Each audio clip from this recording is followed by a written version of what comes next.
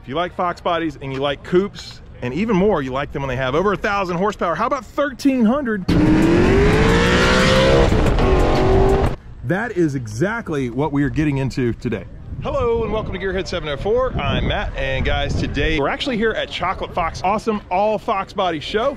But one of the cars here I wanted to do a review on is something I've been trying to track down for a while and you saw it there in the little teaser but yeah. We've got an 88 coupe 1300 horsepower best in show fox Fest 2019 but before we get into that i'm to give you a quick cinematic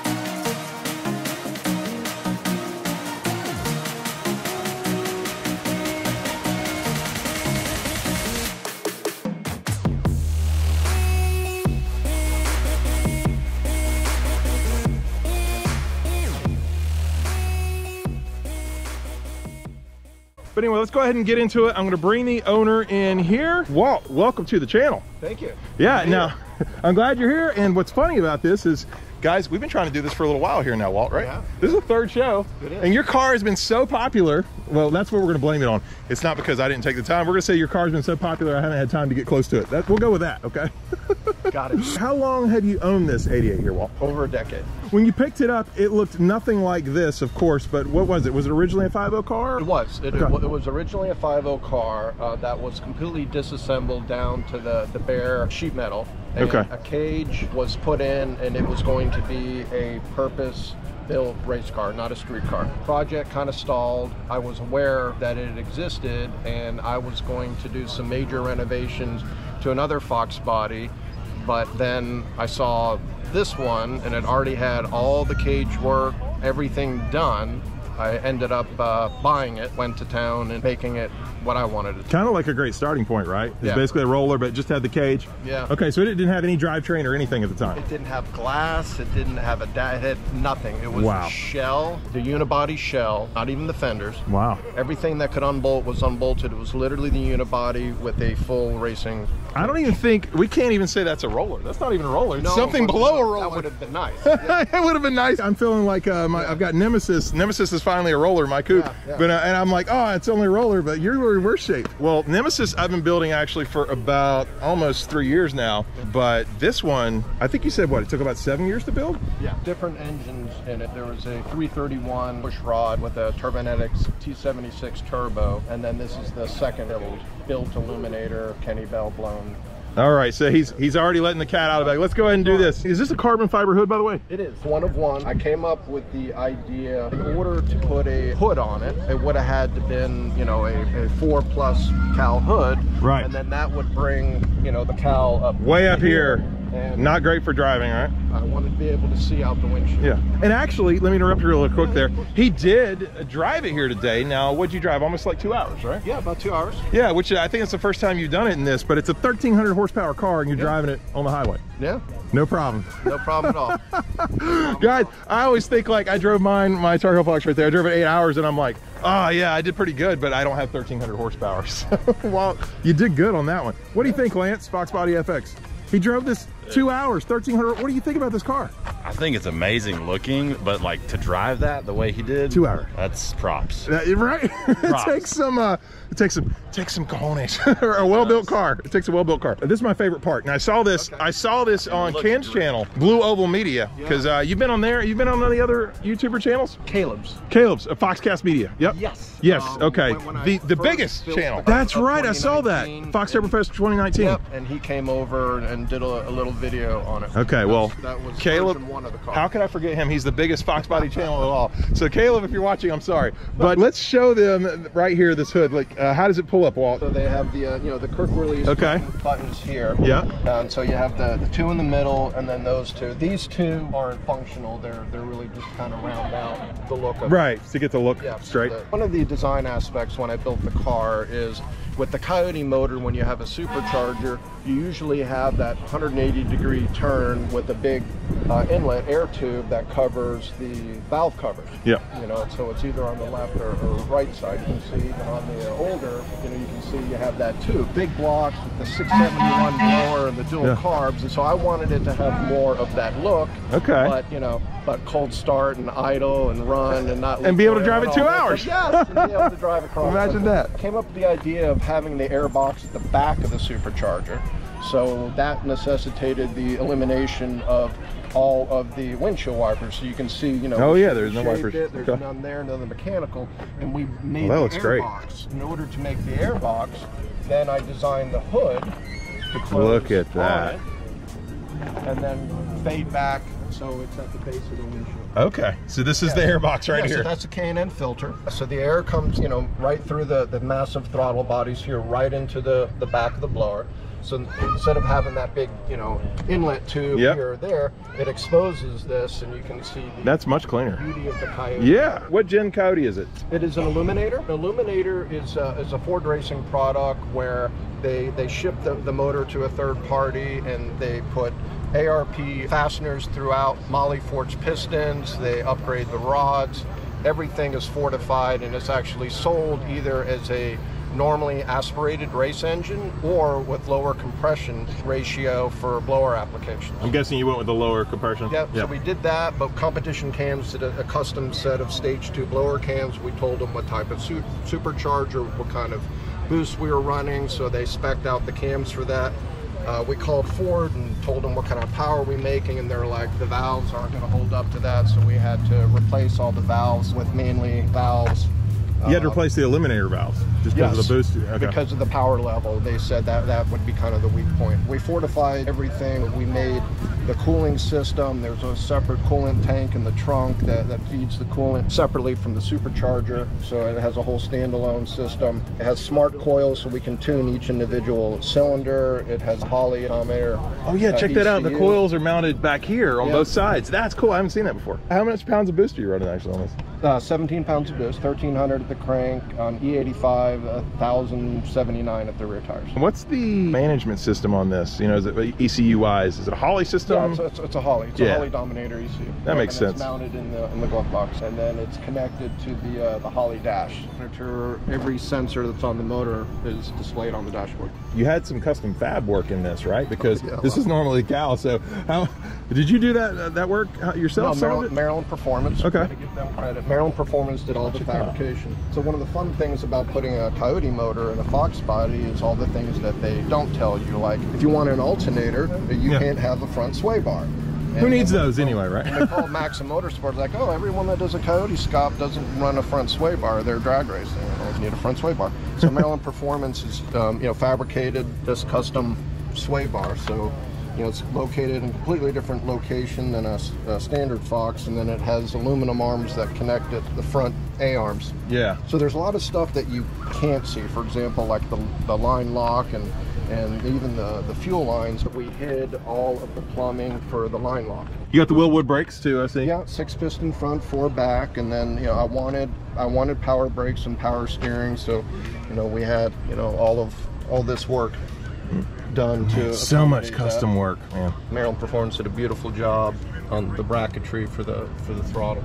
Yeah, it looks great. Did Maryland Performance do the the bulk of the custom work? They did all of the fabrication, all of the mechanical, the interior, the audio system, all the beautiful work inside. That was done by Absolute Electronics. So uh, I put their emblem engraved in the back there on the left side. So Focal supplied a uh, anniversary audio system, the 40th Okay. anniversary, which was kind of cool because 2019 was the 40th anniversary Of the Foxbot, yeah, yeah. So they were excited about me showcasing their 40th anniversary Focal system. Yeah. And there's of course the Holley Dash. And here we got a tablet in the middle. And I remember, It was a tablet in Okay. 2019. It was an iPad. The Okay. problem with an iPad, even though it's Apple, is it, it doesn't have Apple CarPlay. It doesn't have all the neat stuff that we have on our, you know, modern touchscreen audio equipment. So, Right. so we moved the tablet from below and put the window uh, switches there, and then that is a Sony AV8000 audio system, and my wife has a Tesla, so I kind of got the design element from from her car, and also you know most modern cars have like the you know the touch screen in the middle. yeah,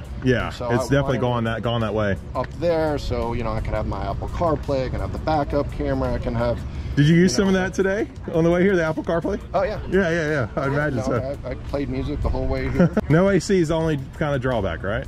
that that was the sacrifice. Yeah. Uh, no, yeah, no. air. Because it was meant to conditioning, be a drag car, I believe, right? It was, yeah.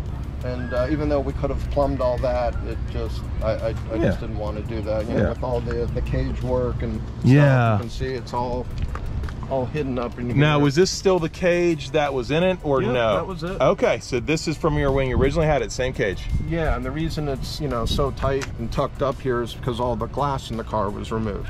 Besides Maryland Performance and who did the audio, who else did uh, any of the work on this car? Uh, I was involved in a, in a lot of the design, and, and I worked a lot of late nights with uh, Ada at Absolute Electronics, making a lot of the interior stuff. You know, this this was my you know concept. Of course, I didn't fabricate it, but Uh, that's all right. uh, that and the forward opening hood.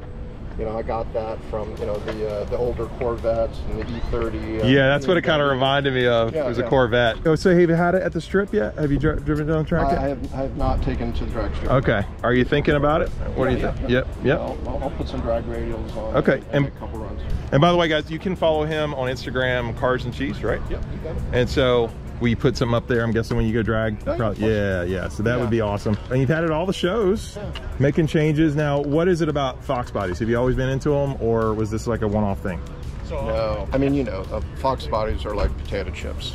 Yeah. You can't have just one, right? No, Gotta no. have I had three right Uh, now. Yeah, see, yeah, they're potato chips. My very first car. So I, I saved up my lawn mowing money and I went into the a Chevy dealer and I bought a '79 Mustang. I wish I would have kept it because it had a hood scoop and it said turbo on it. But when you open the hood, it was a V8. So somebody at the factory put a four-cylinder turbo hood Wow. on a V8 That had to be rare. well, you know, I was 17 at the time, Yeah. so I, I have no idea. I was just happy to have a car, and I was happy that it had a V8 and not a four-cylinder turbo. Yeah. The 79 Mustang was was the first, and I've had many after that. I had a yellow 87 McLaren for a year or so while The I had my ASC, right? ASC Yeah, McLaren? I did. Yep. now I heard a rumor that you actually have a real McLaren too, as well. Is that right? You have Yeah, like yeah. I have a I have a 720S, and Okay. actually, it's in your neighborhood. It's in North Carolina. Oh, really? Yeah, Mega 3 Performance. It'll make about 1,500 horsepower, and I'm going down there to an airstrip to do some uh, testing. But yeah, it's got a full custom engine, custom turbo. I will, when I'm down in North Carolina to Yeah. pick it up, I'll, I'll let you know. You should, We'll because actually, I don't know if you know this or not, but Tiffany and I went to Vegas last year and we rented, uh, we rented a 570. Oh, nice. Yeah, so we had a lot of fun. Not many people watched that video because it wasn't about Fox bodies, Oh, but uh, we had fun. Yeah, yeah. You love all cars, really. I love cars. Yeah. Yeah. But the Fox, uh, you said it was your first car at It's 17? my first car. Okay. First car, 79. I had an 83, I had an 88, I had a 90, I had an 87, I had this uh, 88. And is this like is this your favorite? I mean, well, I'm betting the 79 has some special memories. It was your first one, but Yeah.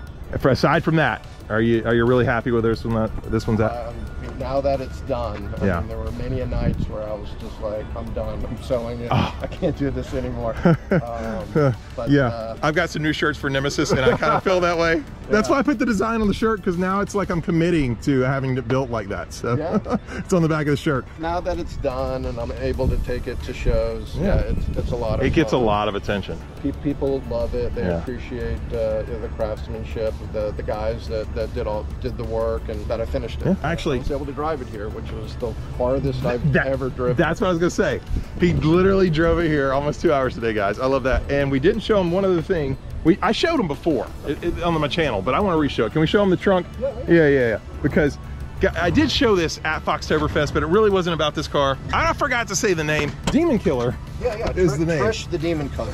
So Trish. Trish. is- yeah, why Trish, by the way? So George and his son Justin Reggio, uh, they're the ones that built the car. You know, other than the interior work, which is amazing that Ada did, they did everything else. George had the car in his shop for over five years.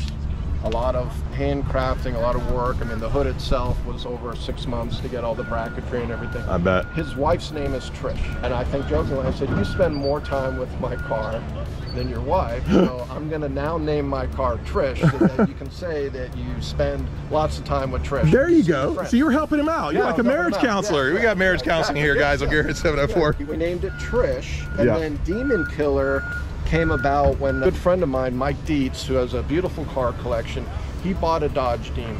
And he, you know, my car was in the shop. Yeah. You know, because it was being built. He talked smack, didn't Oh yeah. What I did is I went online and I started typing in different iterations of the letters Demon Killer. Yeah. And See what would was fit. available. There you go. The only problem, I mean, a lot of the Yeah. car people know that says Demon Killer, yeah.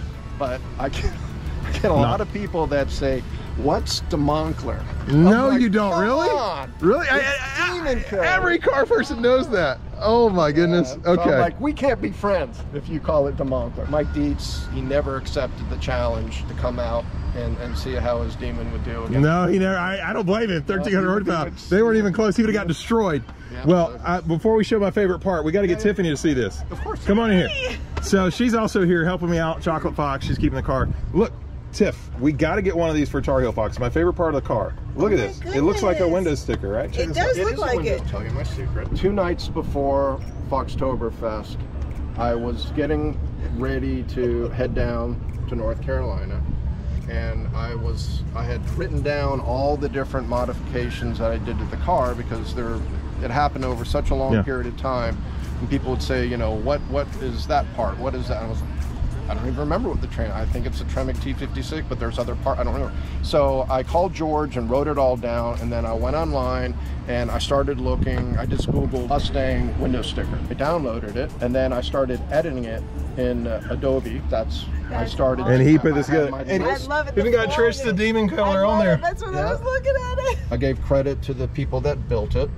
And then I have uh, over here, you know, instead of saying Absolute Electronics, I have a AE, so you can see all the stuff that, that Absolute Electronics built.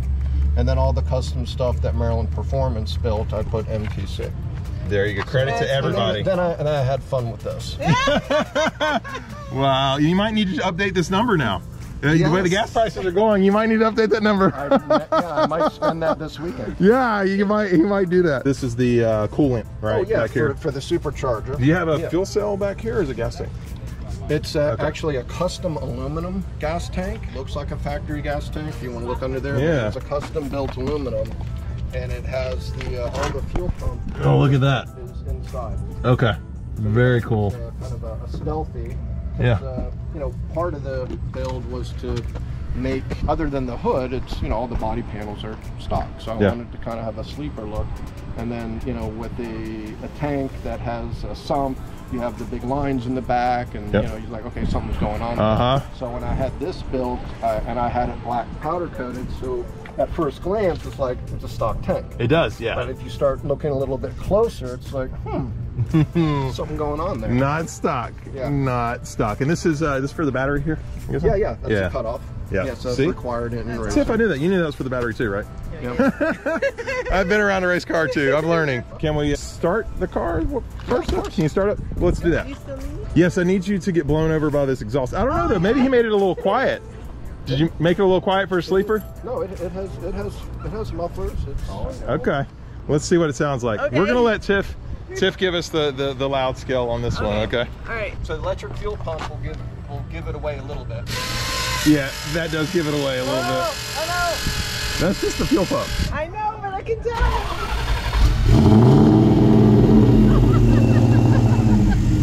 okay, yeah. Can I get one of those? I know. Come on. I couldn't hear you. You hear it back here, right? You know what it does up front? What? It whistles.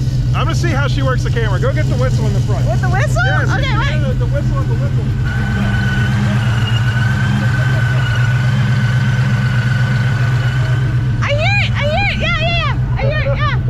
What's your score? 10. All right.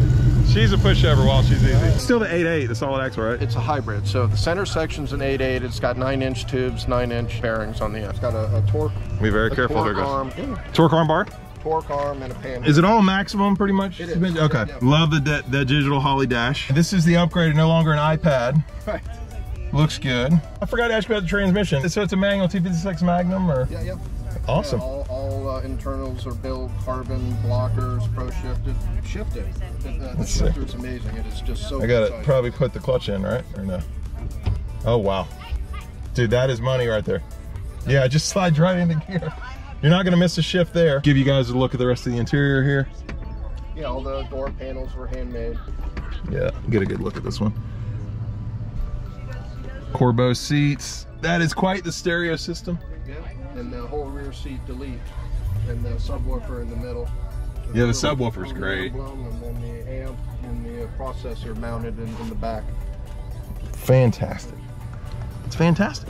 Was it worth it at the end of the day when you won Fox Fest 2019? I love how that that felt. was a shock because we literally finished the car at 4 a.m., wheeled it into a trailer, and headed down there. I had no expectation that it would it would get it get anything because there were still uh, little things that we hadn't finished and that I wanted to do. We actually had loaded the car up when they called it out. And I was like, There, What? don't go home yet. don't go home yet. so that's why my Yeah. car isn't in the photograph. Oh, that's why. Okay, because you already loaded it up. The car was already in the trailer.